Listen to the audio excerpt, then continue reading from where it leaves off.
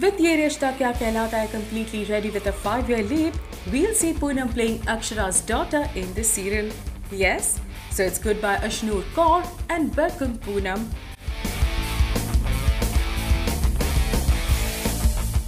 As the serial was going for a leap, there was a hunt for a grown-up Naira which began sometime back.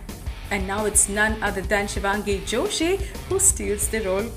So Shivangi Joshi would now essay the role of Naira according to reports.